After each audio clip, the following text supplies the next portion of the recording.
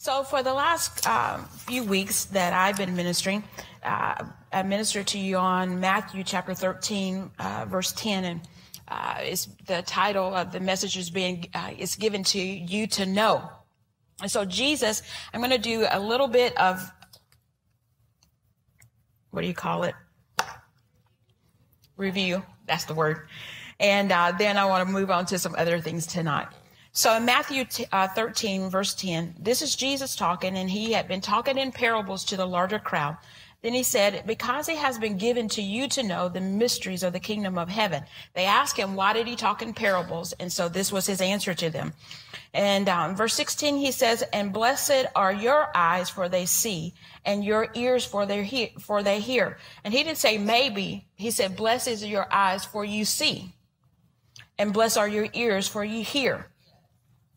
And then um, he said mysteries. That word mysteries there, we've looked at it, and it means secret or hidden things, and uh, a revelation that's in the mind of God, truth being revealed. And so there's some things that God wanted to re- to reveal to us. So we looked in Daniel chapter two and saw that the king had a, a mystery that needed to be revealed. And so Daniel and the three Hebrew children went ahead and uh, prayed and asked the Lord what the dream was and the interpretation of the dream to give it to the king. And so in that, Daniel tells the king, he said, but there is a God in heaven who reveals secrets in the latter days at the end of days. So in their mind, they were in the end of days, the latter days, and we're, you know, here we are a little further along than they were. How about that? And uh, so they were uh, getting information from the Lord of how to navigate, how to traverse where they were in their time. And we also said that they did things a lot externally. They didn't have the Spirit of God living on the inside of them. They had to rely on uh, the prophet, the priest, or the king to hear from the Lord to impart things to them. Or, um, you know, they would, um, God would give them dreams or visions and things like that in order to get uh, information from him. But in the New Testament, Jesus said it's given to us to know the mysteries of the kingdom. And not even, not that he even just said that, but he gave us a way to know the mysteries of the kingdom. And that is through the Holy Spirit. In 1 Corinthians chapter 14 verse 2, for he who speaks in a tongue that does not speak to men uh, they do not speak to men, but to God. For no one understands him. However, in the spirit, he speaks mysteries. That's that same word, secrets or hidden things. The Amplified says of that, he utters secret truths and hidden things not obvious to the understanding. So there are things that we don't know in our understanding about our life, about our family, about our kids, about our finances, about our job, about our future. And so if we will pray in the, uh, in other tongues, God can reveal those things to us that we need to know.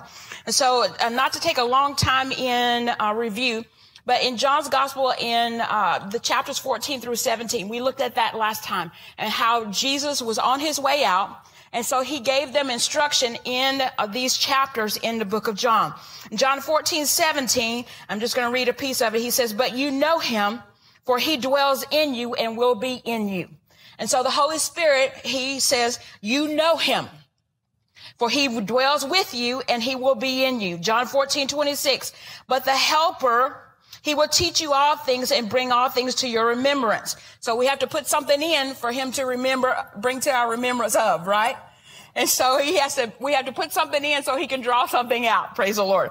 And in John 16, 7, nevertheless, I tell you the truth, it is expedient, be good, to help, profitable one translation says, it's your advantage that I go away. So Jesus is telling us it is to your advantage that I go away. We know that when Jesus walked on the earth, he was just one body. Now, one body that did a lot wherever he was but he couldn't be everywhere all the time. So he said it was expedient for him to go away so that the Holy Spirit can come and the Holy Spirit can live on the inside of each and every one of us. Amen. So he could be in multiple places at one time. And so it was to our advantage the disciples didn't think so. They didn't want him to go away. But he said it's to our advantage that he goes away. And one of the things that will happen when he does go away and, uh, and the Holy Spirit comes in uh, John 16, 13 through 15, he says, and I'm going to read it out of the Amplified Classic. But when he, the spirit of truth, the truth giving spirit comes, he will guide you into all truth, the, the whole full truth, For he will not speak on his own, on his own message, on his own authority, but he will tell whatever he hears from the Father.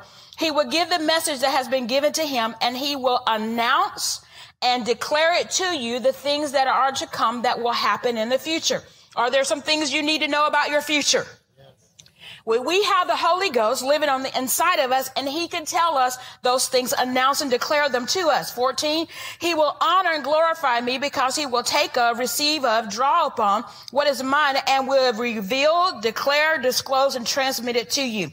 Everything that the Father has is mine. That is what I meant when I said that He, the Spirit, will take the things that are of mine and will reveal, declare, and disclose it to you. So we have, and transmit it to you. So we have an advantage of the Holy Spirit living on the inside of us because He reveals things that we don't know, hidden things that are secret things that are hidden for us, not from us, that He can reveal to us.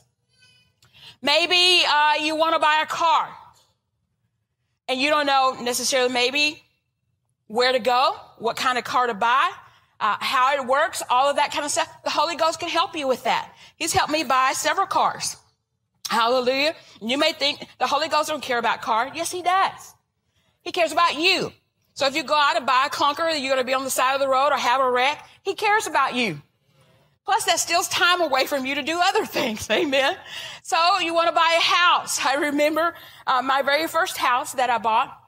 And uh, uh, so I was driving on a, I think it was on a Thursday, and just it just like a coin just dropped down on the inside of me. I knew it was time to do it. So I, I called a real estate agent and I said, I think I think we're supposed to do this. And so within 15 minutes, she put me in, in touch with a mortgage uh, loan officer. And within 30 minutes, I was approved. And so the next uh, next day, she said, "Okay, I got some houses lined up, and let's go look." And so I said, "Look, uh, Pastor Mark keeps us pretty busy around here, so I don't have several days to be looking for a house or weeks or what have you. So let's pray and believe God that we'll find the house today." And so um, we prayed in the car, and the fourth house that I walked into, I walked across the threshold, and I knew in here that was my house. I started tearing up, started crying. And uh, and so we uh, put the put the offer in, and I was under contract by six o'clock that night. And so, uh, I mean, it was it had more things that I I just wanted be able to have a house. I just wanted to have a house. but he did exceedingly abundantly above all I could ask or think. Amen. And plus I had a yard. You have a house. When you have a house, you have a yard. And it was a little bit too big for me. uh, and so uh, I was in that house, I believe, three years, three or four years. But um, when I moved into that house, um, I think it was in a time of prayer. I was praying and I saw this tall man standing up by my mailbox with white hair. And uh, someone, someone else that was on staff was thinking about buying a house, and they were, you know, just kind of, what do I need to move? Uh, how are we going to do this? Not sure if it's time to pull the trigger on it and everything. And I said, if I can get a house, anybody can get a house. And I said, I've already seen the person who's going to buy my house. And I heard myself say that out of my mouth. And it was the tall person standing up by my mailbox with the white hair. That person ended up being Pastor Mark's dad and mom buying my house. And so I was up preaching one night, Wednesday night over at the A-frame, and I looked over at him and saw the white hair. This was already after they had bought the house. I looked right at him and went, he's the tall man with the white hair at the mailbox. It, it never even registered me after we went through all of that, that he was the one that I saw when I was praying that was going to buy my house. So God cares about those things, cares about the things that you care about. Amen. So it's to our advantage. He helps us. One of the DNA markers of Cornerstone Word of Life Church and your pastors is that they, uh, being led by the Spirit is a characteristic of this church and uh, and on their life. And so um, that should be something that you strive after, and that should be a part of your life as well. And uh, and it's for you because it's open for uh, all of us and for any any one of us. So praying in other tongues and praying in the Spirit is an advantage to us. it helps us personally in our life. And so, um, there's a, uh, an account in uh, 2 Kings chapter 2. And this is an account where uh, the Syrian army is planning to go down to uh, to kill the or invade Israel. And so the king is talking about what they're going to do and where they're going to go.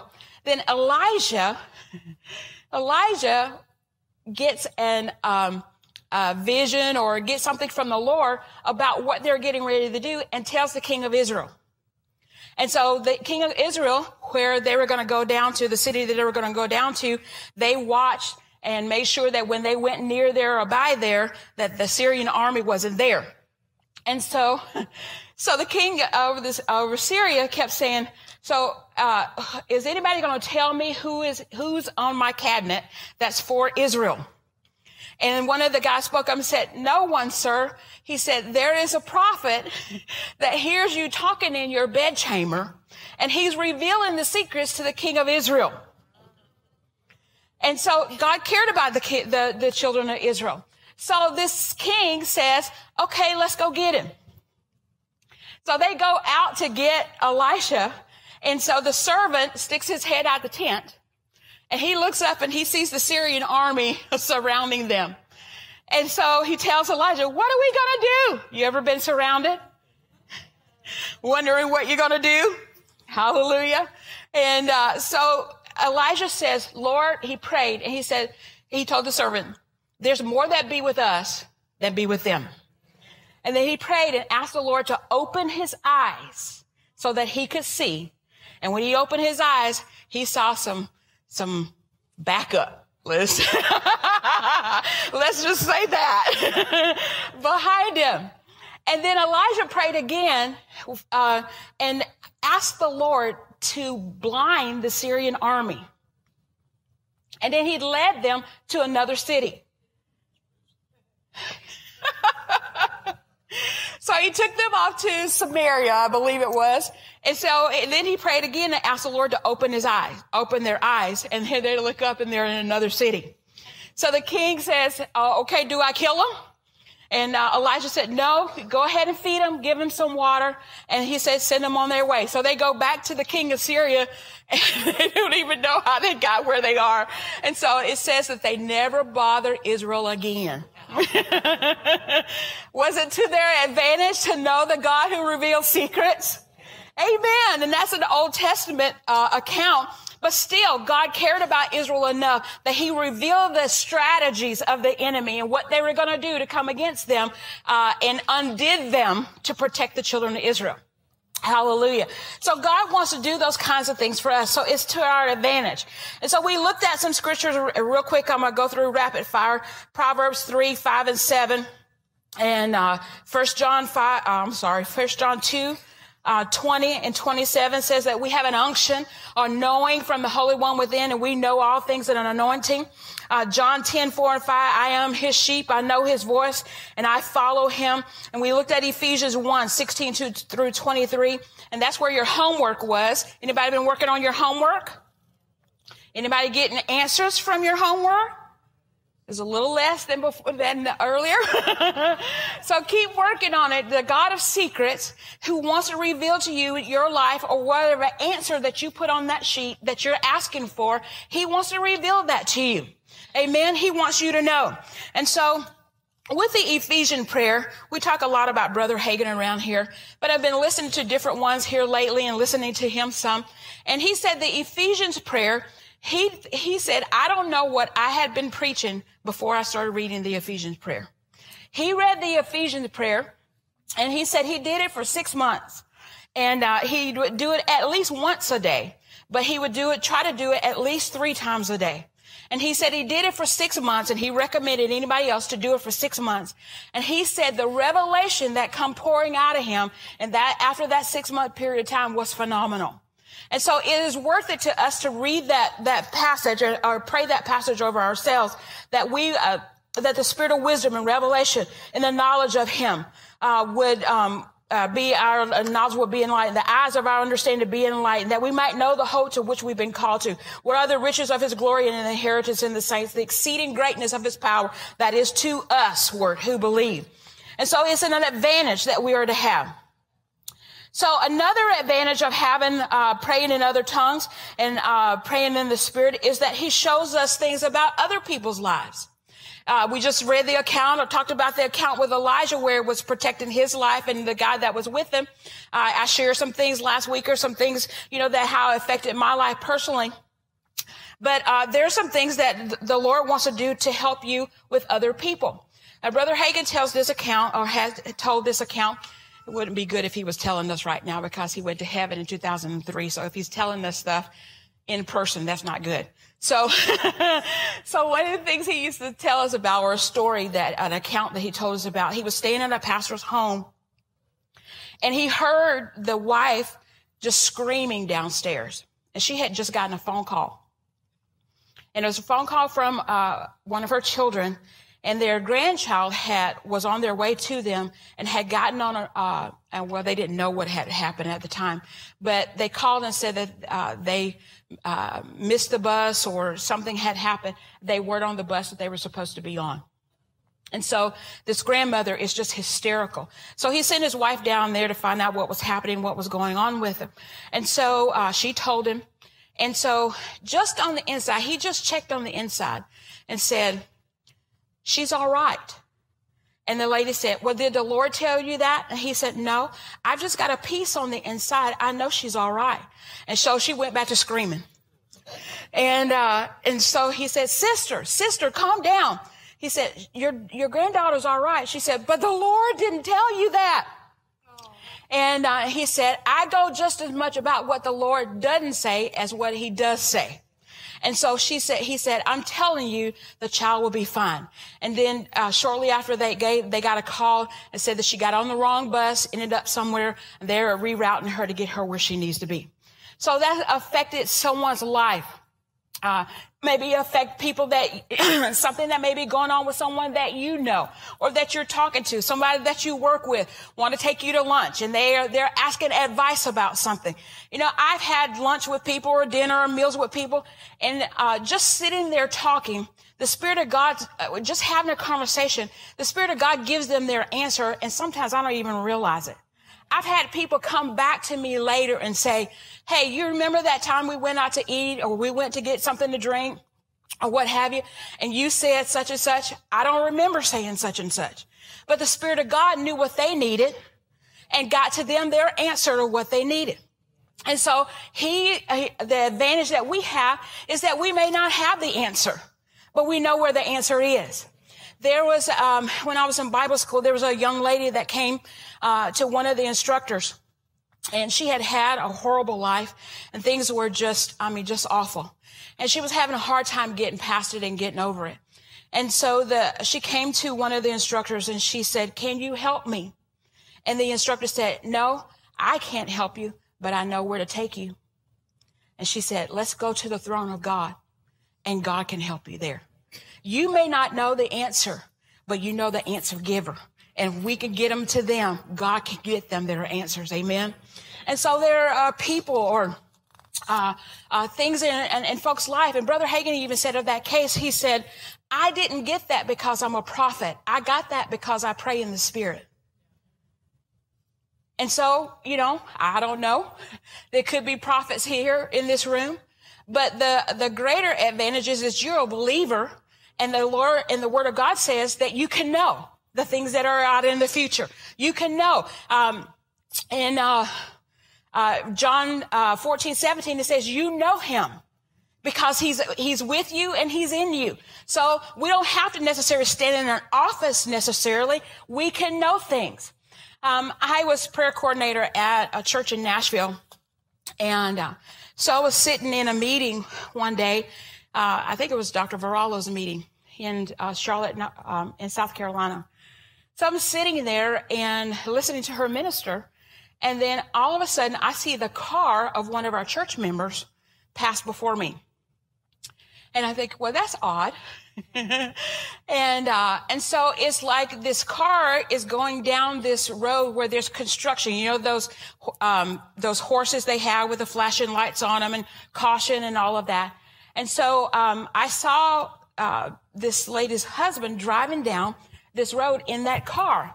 And, um, and so he's not seeing the caution signs. And so he just continues driving on. And so, um, I sit there and I start praying in the, in the Holy Ghost. So when I get back to, uh, get back home, I go to the pastor and I said, uh, this is what I saw. These are your sheep. Here you go. Here's the information. You do what you need to do to it. He said, uh-uh, not happening. He said, the Lord showed it to you. You need to ask the Lord, what do you need to do about that? So, uh, he put it back over in my court. And, uh, so I went to pray and, and asked the Lord, okay, you showed me this. What am I supposed to do with it? And so he said not to tell anyone else. And, um, and he just wanted me to pray. And so as the weeks progress on, I get a revelation of what that was all about. So I'm, I'm going to a fast food restaurant through the drive through and I went to place my order and I heard the voice of someone that I knew. And I thought, how's this possible? So when I lived here, when I was in college, I worked at a restaurant here in town. And uh, the lady who was my assistant manager here is now the assistant manager at this particular store. So I hear a voice and I called her name and she remembered me. So I drove around, we got out, went in, hugged and all this kind of stuff. And so she proceeds to tell me that she's in a relationship with someone and called their name. And it just happened to be the person that I saw driving in this car through the caution lights and stuff going down the road. And so I went, Lord, what are you doing? get me out of here. and so I get back in my car and call my pastor. And I said, okay, this is what's happening. This is what un- unfolding. And he said, what did the Lord tell you to do? He said, pray on it. I went, oh God. And so I continued to pray on it. And so things just started unraveling in that mess. I mean, in a mess and uh, could have potentially been a horrible mess. And so, um, and this was one of my friends. And so in a way, I felt bad about not saying anything, but the Holy Spirit didn't give me the license to go ahead and say something. So he just said, pray on it. So what I started doing is just kept praying on it. So as things are progressing, he's breaking off the relationship. She went nuts. Just nuts. Was going to sue him, uh, you know, sue him for harassment because he's her boss. And, uh, and I mean, it just went, it went crazy. When she went to the judge, they went to, ended up in court. And when they went before the judge, the judge, rather than uh, siding in with what, you know, because she was consenting in this relationship, uh, he deemed her unstable and that she needed help, uh, mental help. And so that whole thing fell apart. They're still married today. Their marriage is strong today. They're still in church, all of that kind of stuff. But till this day, to the best of my knowledge, she doesn't know that I knew. So when God reveals things to you, what do you do with it? You ask him, Lord, what do you want me to do with this information? How do you want me to use this information? And it could be information to help someone. And, uh, you know, and, and when God trusts you with his secrets, he reveals things to you with it and how you handle them will let you know whether you get to do more with him. Whether he trusts you with more. Amen.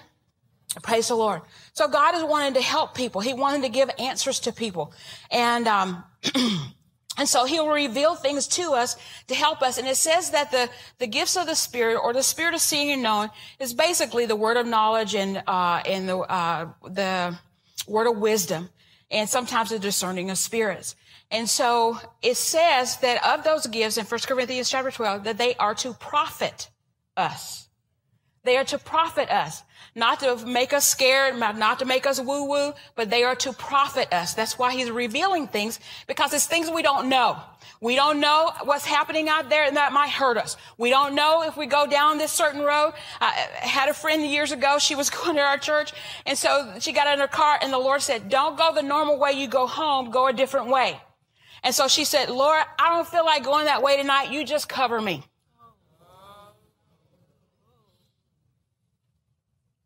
So he was telling her this to profit her. And she said, just cover me with the blood. Just cover me. And so you don't ignore when he's talking to you that way. Trust me. You don't ignore that. He's trying to help you. So a little while later, I get a phone call. I'm in an accident in such and such a place. And then when I get there, she tells me what the Lord told her. And she just said, just cover me. Well, we don't override the leading of the Spirit just with a confession. The leading of the Spirit is a lot of time in the moment, He's trying to get our attention about something. And so we follow that. Amen. Hallelujah. So when, um, so answers sometimes will come several ways. He'll talk to us in an audible voice. He'll talk to us.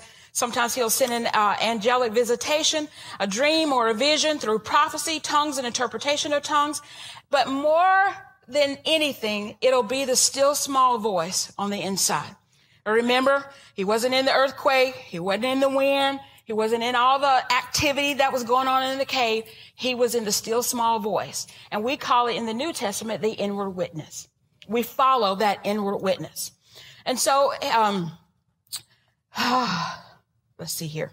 So the spirit of seeing knowing uh, goes into operation when we pray in other tongues, when we yield, yield ourselves to the spirit of God. And um, a lot of times he'll reveal things to us and, um, uh, you know, what we'll do is we'll pray in tongues more fervently. But a lot of times when He's reveals stuff to us, it's to take our authority over something. And so, you know, a tornado coming towards, towards, uh, to, towards Huntsville, we to just pray in tongues real fast. Because when we pray in tongues, we're talking to God. We're not addressing the tornado, but you have authority. We have authority. So we address the tornado with our authority in the word of God. So um, I had heard this account before, and then just recently, uh, someone else was telling the account and got a little bit more detail. There was a minister and his family that were on a plane, and I think there were six of them in the plane, and, uh, including the the pilot and co-pilot. And so they were getting ready to take off from a ministry uh, uh play event that they were on. So the pilot didn't refuel the other tank. He was going to use a reserve tank. So when he took off, the reserve tank, he switched, uh, kicked the switch over to the reserve tank and it wouldn't go over. So he wasn't that far in the air. So when he realized that the reserve tank is not coming up, he tell, he looks back at everybody and he says, pray, we're going down. So everybody started rapid fire praying in other tongues, except for the co-pilot. And that's the reason why we have the story.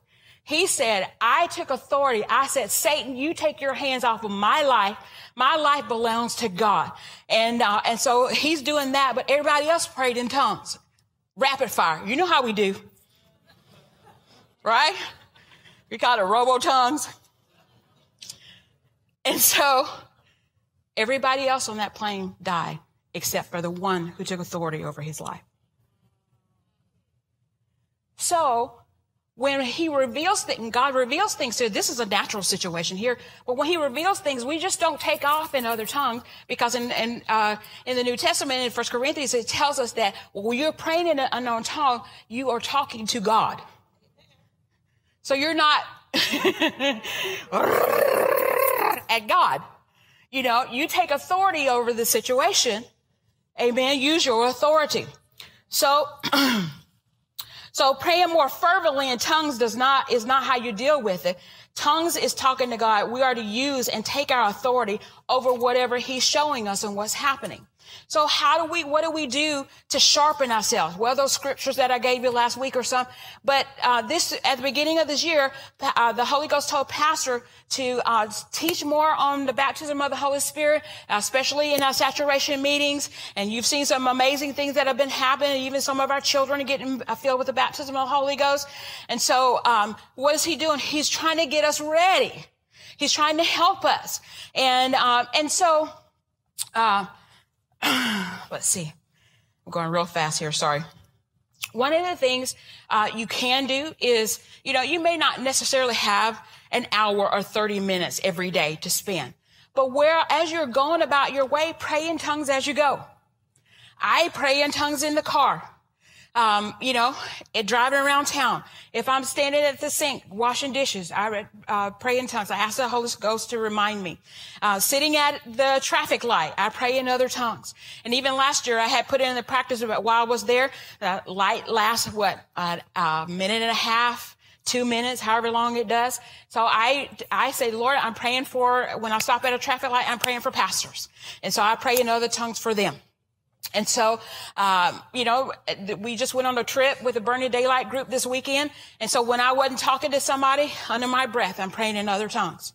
So you can just, as you're sitting at your desk, as you're, if you're in your car driving for, from one appointment to the other, pray in other tongues. Just keeping yourself sensitive to Him so uh, that at a moment's notice we can move however He wants us to move. Amen. And hear Him clearly. Now, another advantage for us it is for us to pray in uh, other tongues or have the spirit of seeing and knowing operating with us. Um, uh, Reverend Ann Durant was just here, and so she talked about the spirit of seeing and knowing, and she talked about uh, us seeing what pastors see and knowing what they know. So whenever they have vision, whenever they have direction, she was talking about the Spirit of God for us to know and see the same things that they're seeing and they're knowing. And what does that have to do with? It has to do with vision. And so the shoe drive we just had this past Sunday. So you guys got behind the vision of that. That's seeing what they see, seeing their heart, uh, uh, the heart of God in them about why we did it. And so you gave money towards that. And we, you know, those kids were blessed beyond measure. Amen. And so, uh, when the next building comes, the one he's been talking but not talking about back here. When that happens, rather than we don't need a new building, why are we building? We just got to do building. No, you get in agreement with and see the same things that they're seeing. Why? Because we'll all see, Isaiah said, we'll all see and flow together. And you, with unity, things flow better. Amen. That's where God puts his anointing in. Not,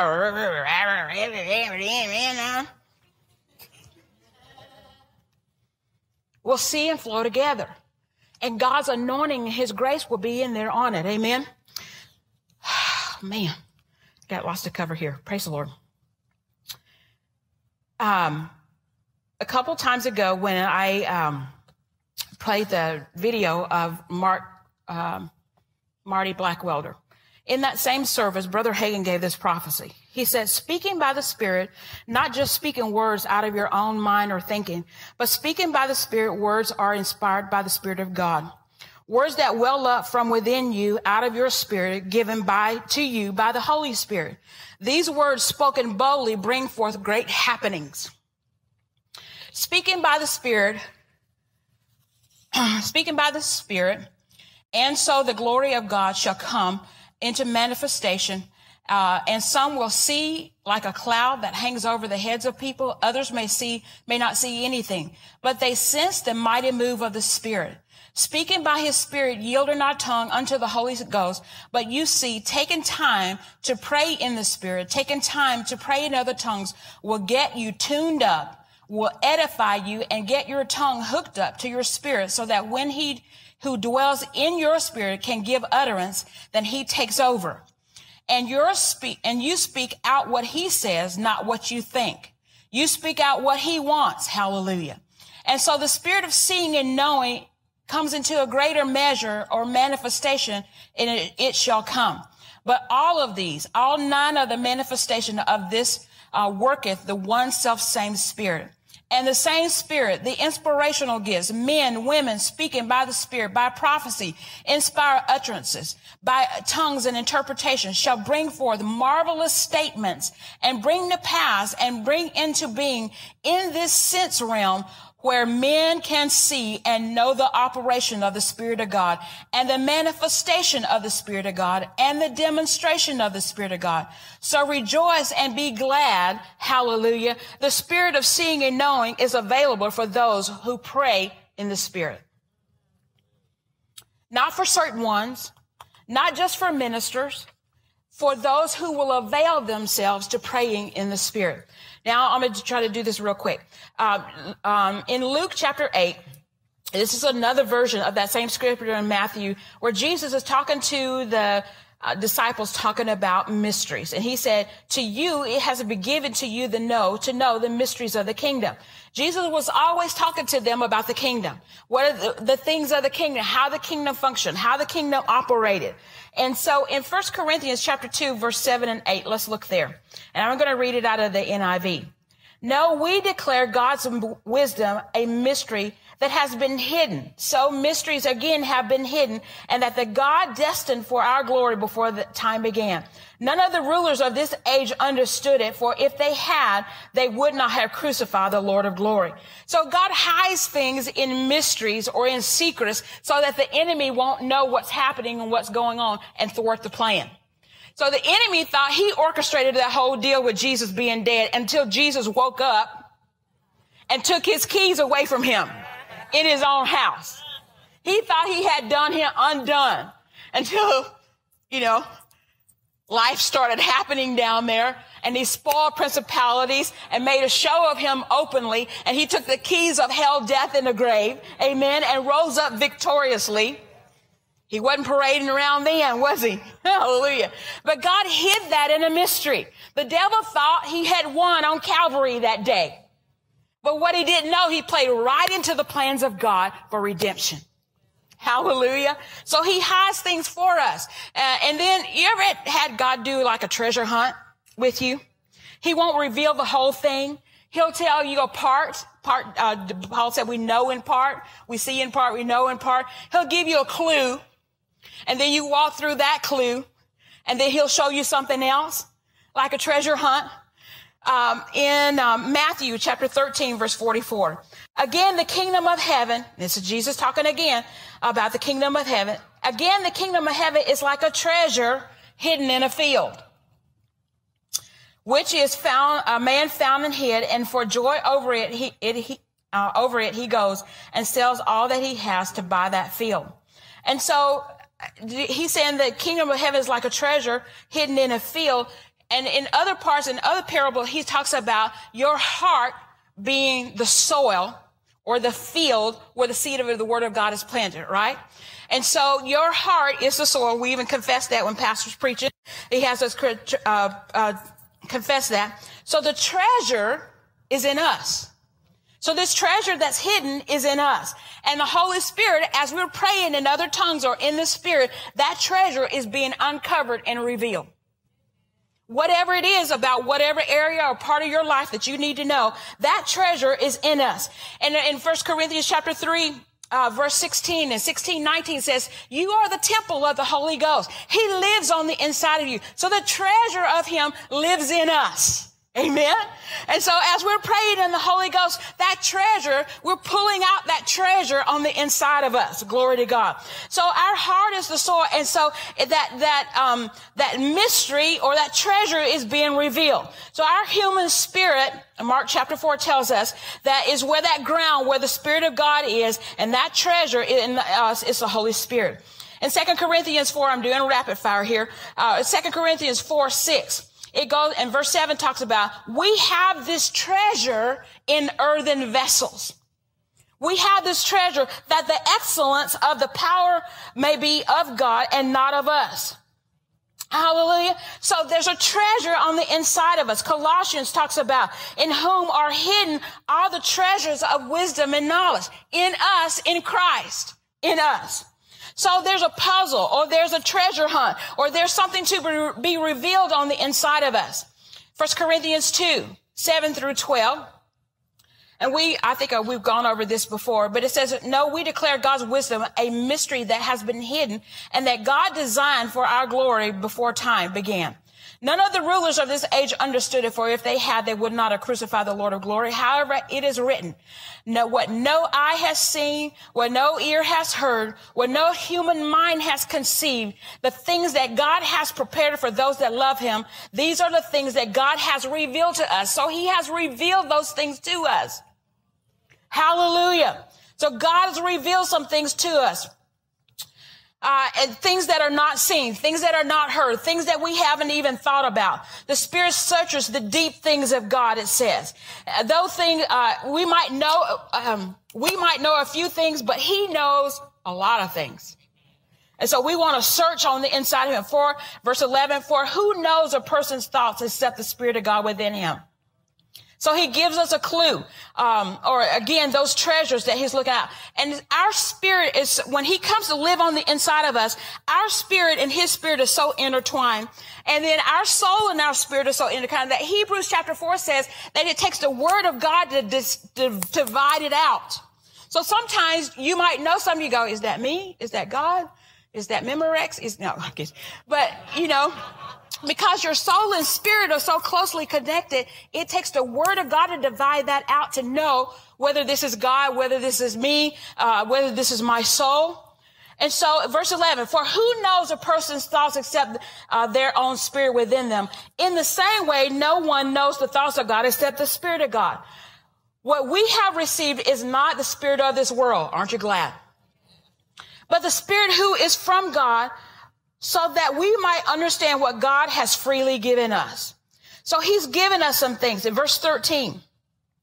This is what we speak, not in words taught as by human wisdom, but in words taught by the Spirit, explaining spiritual realities with spirit taught words. This is the NIV of that same uh, passage. So what are those spirit taught words? Again, we talked about in uh, 1 Corinthians 14 that when our spirit prays, we're, we're speaking in an unknown tongue and we're speaking unto God.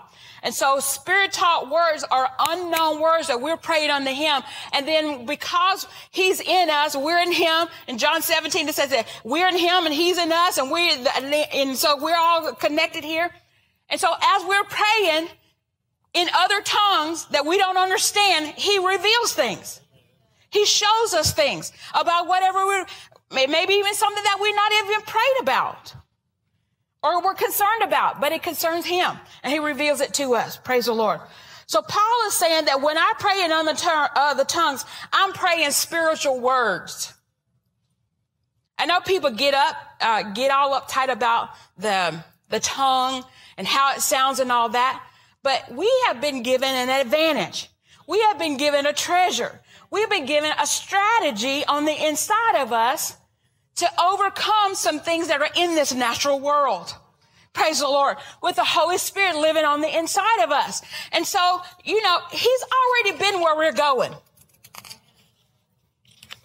That's why He's called the guide. You ever been on a whitewater rafting trip or, you know, on a, uh, go to a museum or something? Don't go to Ruby Falls. I'm sorry, y'all. But unless it's rained heavily, don't go to Ruby Falls because it becomes a trickle when you get down there. And so you go all with a guide all the way down there to see Ruby Falls. And Ruby Falls is a drizzle. and so you're leaving Chattanooga. Thank you for coming to Ruby Falls. We didn't see falls. We saw drizzle. but the guide is in there to help us. And so when you're on that adventure, the guide because he's already been there, shows you where to go, where to step, where to stay, where to go, uh, go back. Amen. So the guide lives on the inside of us. So I'm sorry I'm throwing this at you rapid fire. I'm trying to get you out of here. Romans says when we don't know things or we don't know how to pray as we are, we have help on the inside to pray out the things and mysteries that we don't know but there's someone who knows the mind of God. And then uh, John 16, it says that he will take of what is God's, what's in the Father, and will show it unto us. Hallelujah. Hallelujah. So we don't have to uh, walk down here with blindfolds on in the dark. And where are we going? Because we got a guide. He said, the spirit of man is the candle of the Lord, searching the inward parts of the belly. He's in there. Your head may be going, I don't know. Uh, Jehoshaphat said, I don't know, but I'm looking to you. And how do we look to him? We look right here. Amen. Hallelujah. Praise the Lord. Woohoo. Hallelujah. 1 Corinthians 14, 4. He who speaks in a tongue edifies, builds up himself, uh, but he who prophesies edifies the church. That word build, uh, edifies there is build up, but it also means instruction. So when we're praying in the Holy Ghost, we're getting instruction. We're building ourselves up, but it also means that we're getting wisdom or instruction from him on what to do. hallelujah. So the Holy Spirit, He can give us glimpses. He gives us pictures. Uh, I like what Marty says. He gives us divine cues about what uh, what we need to do, what we not, don't need to do uh, regarding things in our life, and uh, that's a help to us. give you this real quick. When I first started here uh, at the church, before that, I worked for AT and T Wireless, and I think I worked for them from April till about October. And during that time, they didn't take taxes out for me. And um, so come the new year, I, I look on my W-2 and there's no taxes on it taken out.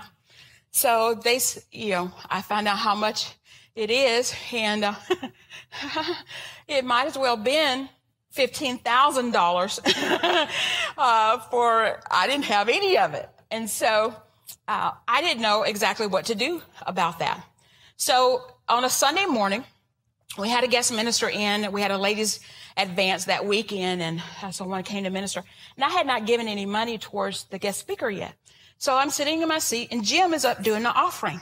And when he's doing the offering, he goes to um, the account where they need to pay taxes. The disciple needs to pay taxes. Jesus tells him to go fishing, and the first fish, take the coin out of his mouth, go pay your taxes and mine. And so I'm hearing him say that. So as I'm hearing him say that, the Spirit of God says, don't put your uh, gift for the guest minister in the offering. What I want you to do is when you leave here, go to the ATM, get money, put it in the envelope, mail it to them today. That mail ain't running today, but he tells me to do it, I mean, right away. And so, uh, so I follow his instruction. And so, um, I didn't know it had anything to do with the taxes, you know. And so I think it was the next week. I, in between services, I go in my office and on my desk is sitting there a Bible. And, uh, it's in a box. It's the King James Amplified Parallel. And so I'm thinking, I didn't tell anybody I need a Bible or, I, you know, I wasn't sure. Mine was falling apart. So I, I really didn't need one, but I didn't say anything. I didn't think I said anything to anybody. And so I would turn to walk out of my office and the Spirit of God said, pick the Bible up out of the box. And so when I picked the Bible up out of the box, there was an envelope underneath it. And when I opened up the envelope, it was the money that I needed for my taxes. and some left over to, to put into the offering, you know, by 10%. And I couldn't have done that. But then the Lord said, the reason why that happened is because you obeyed me when he spoke to me in service that day to go do that. He took care of my taxes. So he can take, that's a strategy that I could not have come up with anything better than that. I got a Bible to boot out of it, you know, all. But that was a tight spot for me. You know, you hear those stories, they're going to come get you, knock on your door, cart you off. You know how they used to do with the kids, you know, uh, when they couldn't pay their bills and stuff, they would put their kids in prison and stuff. And so, so I just picture being carted off by the IRS or something, you know, I don't know. But the Lord took care of that. Amen. And so there are strategies, things that he wants to do to take care of stuff in your life as well. You may be in a tight spot and you think, man, I don't see, and he is a God of impossibilities. Amen. That's what he specializes in. So we come up against a Red Sea situation. you took us from eating eat leeks and onions and brought us out here to die. Up against a Red Sea, an impassable impossible situation. And with the blast of his nostrils, he opened up the sea and they walked over on dry ground. And that's not just a story. That's an account of him, of how he wants to do things for us. But I believe that what he's trying to do is stir us up. So the impossibilities, so the things of the spirit that are happening that he wanted to do in our lives, he's stirring us up so we can access those things more. Amen. the kingdom belongs to us. We are a part of the kingdom. And so when Jesus came up against impossibilities like paying his taxes, he didn't think, I need to go get a part-time job. I need to see if Peter will let me work on his boat. Maybe I can clean the nets or something like that. What he, what he did was access the provision of the kingdom. Okay? Father, we're up against something impossible right now. What do we do? And he said, I didn't do, I don't do anything that the Father, I don't see the Father do. I don't say anything I don't hear the Father say. So he had to hear the Father say, tell Peter to go fishing. And the first fish, the first one, not the 30th fish, the first fish. How did he know it was the first fish? Because the Father told him. The first fish, he's got a gold coin in his mouth. Take that coin, go pay your taxes and pay mine. Uh, we got 5,000 people who need to eat and we don't have food. We got a little boy who has his lunch. Jesus took that food and blessed it and fed 5,000 men, it says, could have been upwards of 15 to 20,000 children and women, you know, included in that.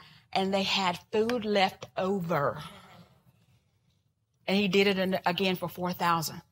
This is not just stuff we, little Bible stories we read in the Bible. These are things that he's wanting to do with us right now today. I want to see it happen more in my life. Amen. Hallelujah.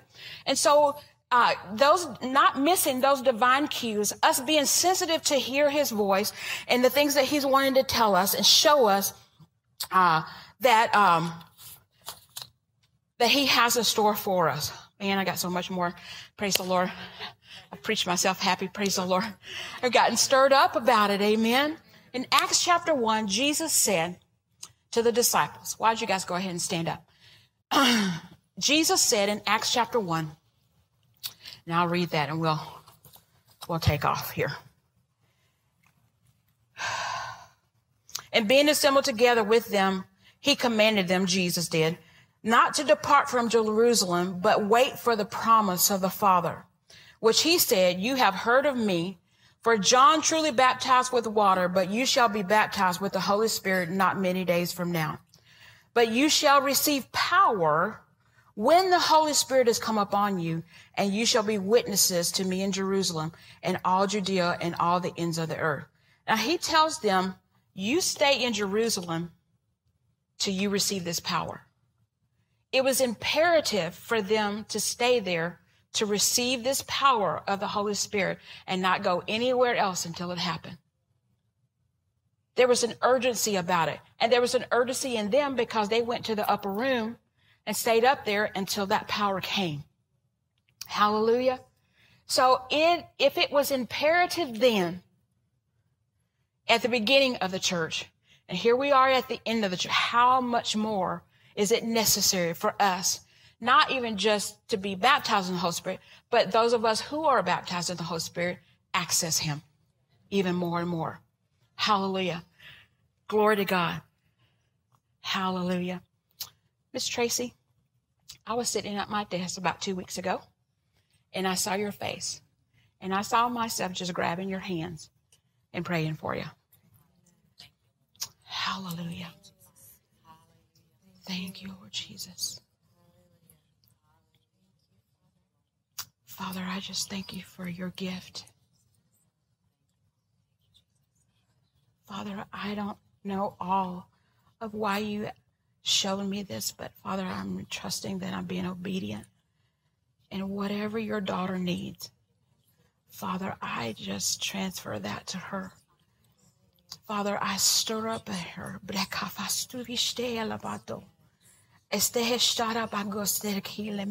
Amanda.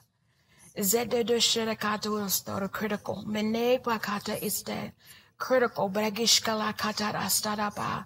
Bigishkola bandosterekas to stir up in her. Brigishkoraba in this hour critical. Migishkorabanda saraka for her to know your voice and to follow you. Brestevenshkala bandostia deama. And Holy Ghost, I thank you that you're her help. Ah, there is no darkness because the light dwells in her and you are that light. And anything and everything that she needs to know, Father, I thank you that you show her. And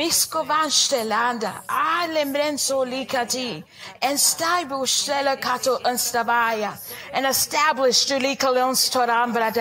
and to stand firm, and zeda, and in her authority,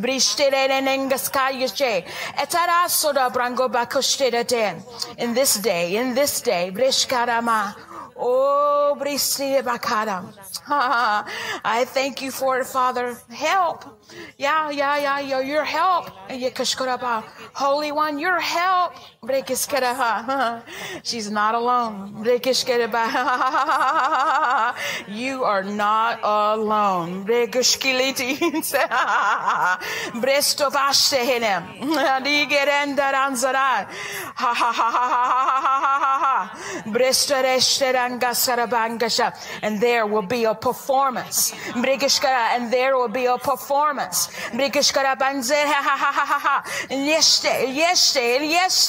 And and you open up the way.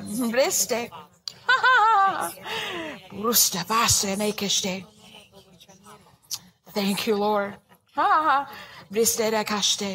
Everything, everything she needs.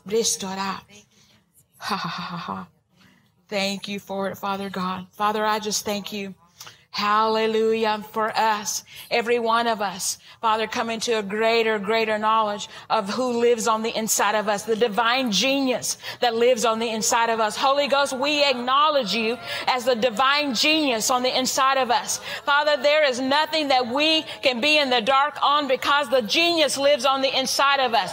And so, Holy Ghost, we ask you for your help. If there are things in our lives that we don't know about, we thank you for your help. We, we acknowledge you in all of our ways and you will direct our paths. Hallelujah. Thank you, Holy One, because you're bringing answers, bringing solutions to us. Everything that we need to know to traverse the end times, these last days, things that you've held in reserve for us, we access it right now by faith. We stir up on the inside of us. We stir ourselves up. Ha ha, on our most holy faith, praying in the Holy Ghost, receiving instruction, receiving wisdom, receiving guidance on the inside. Thank you for helping us. Thank you for being our helper. Thank you for being our advocate, our standing by, our strengthener. Hallelujah. The comforter. Hallelujah. We thank you, Holy Ghost. We even ask you to forgive us. Forgive us when we haven't accessed you more, when we try to do it in our own strength. Hallelujah, in our limited knowledge. But thank you, Holy One, for reminding us. Hallelujah. We got a divine guide on the inside. Hallelujah. And we know all things. Hallelujah. And that anointing, that unction is teaching us. Hallelujah. We used to sing this song, Thank you, Lord, for the Holy Ghost. Thank you, Lord, for the Holy Ghost. He is our comforter, our helper. On you I do depend. Thank you, Lord. Thank you, Lord, for the Holy Ghost. Amen. Amen. Hallelujah. Glory to God. You're dismissed.